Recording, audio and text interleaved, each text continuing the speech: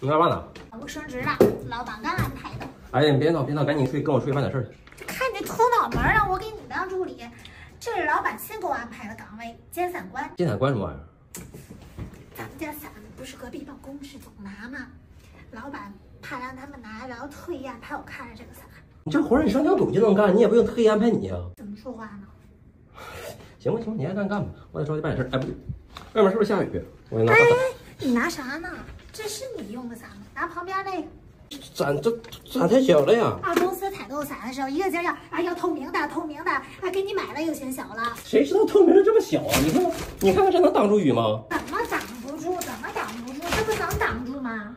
哎呦我去，那这黑伞黑伞谁用它呀？这是老板用的伞，老板用的伞怎么这么大呢？能跟老板比啊？老板每天操劳，肯定要保护好。那老板现在不是不用吗？那我用一下怎么了？来，那也不是你能用的伞啊！老板天天风里雨里刀尖舔血的，啊，一不小心就得挨淋，得随时准备好这把黑伞。那你这让你来看伞的是不让外人拿咱们公司的伞，不是管着自己人不能用伞。那么多伞不够你用的，作为打工人，用好自己的伞。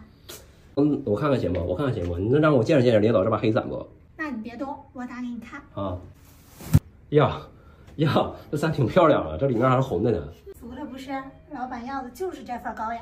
哎，你说这伞是日本的和伞不？这什么和伞？这叫卡拉卡萨，翻译成中文叫糖伞。